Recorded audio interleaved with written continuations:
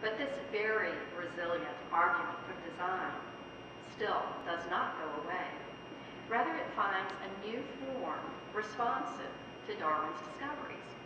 In a manner reminiscent of Newton's reformulations, the theological focus of attention shifts from particular divine interventions to the wider divine design, from actors to the stage, for example.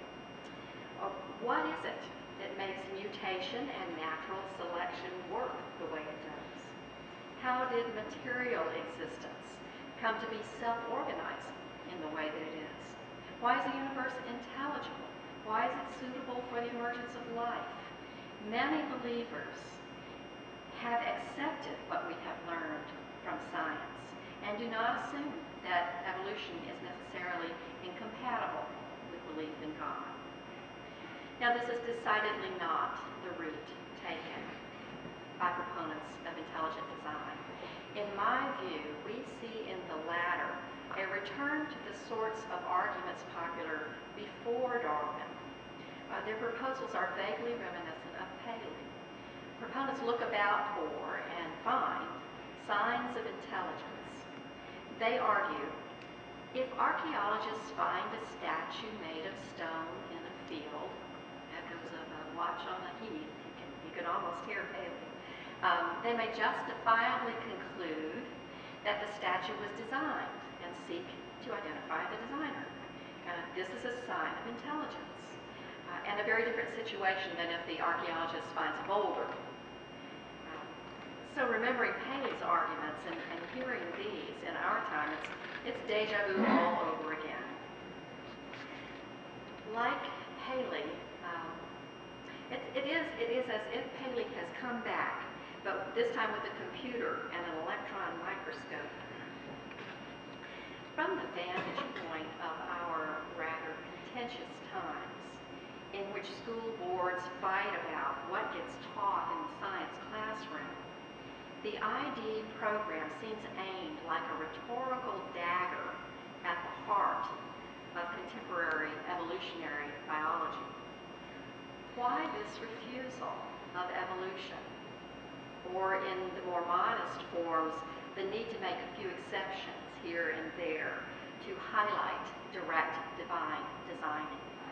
I've puzzled as to what's at stake for the proponents of ID in this.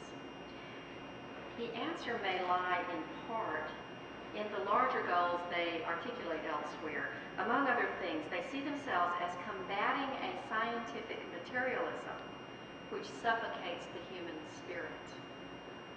Now here I am a sympathizer. Uh, many science-friendly, evolution-supporting theologians resist the tendencies to materialistic reductionism. I think of Nancey Murphy and the non-reductive physicalism, or John Polkinghorne's dual aspect monism, or Joseph Sittler's holy naturalism or the whole school of theistic and naturalist, um, theistic and religious naturalists. There's a significant difference, though, between these resistors and the ID resistance. All these thinkers are very clear that the discussion of what is ultimately real places us in the realm of metaphysics and theology.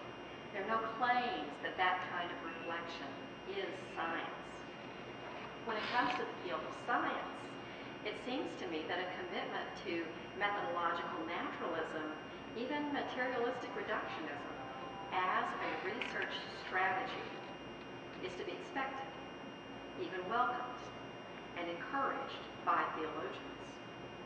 The approach aids in the understanding of the natural world as such. However, such a stance does not necessarily entail a metaphysical reductionism uh, that authorizes science then to say, well, nature is all there is. There is no God. Science, as science, can neither endorse nor refute the existence of God. Interestingly, there is an odd coalition formed between proponents of ID on the one hand and scientific materialism on the other. That is, they seem to agree that science can establish um, whether there is a God. They disagree about what's established, but they're together in thinking this is the proper purview of science. The proponents of ID seem to want to level the playing field with science.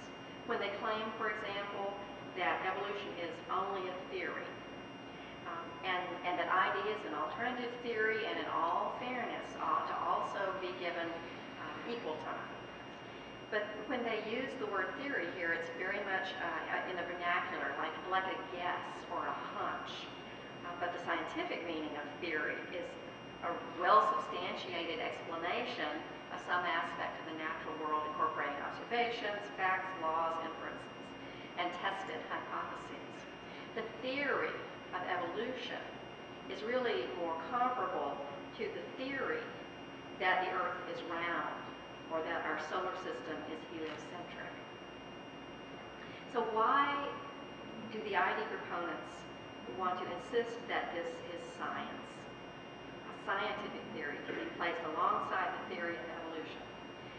Again, you know, what is what is going on in this investment?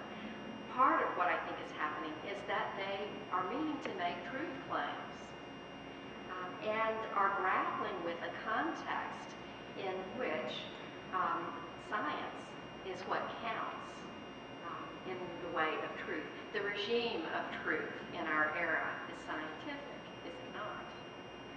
Um, in the popular mindset, to say something is true is almost equated with saying it's established scientifically. And this is how I understand that desperation to make a claim that this is science um, and has scientific evidence to back it up there again, I'm a bit of a, a sympathizer. I want to make truth claims. Um, and we do this in a context where that playing field is, has a dominant player.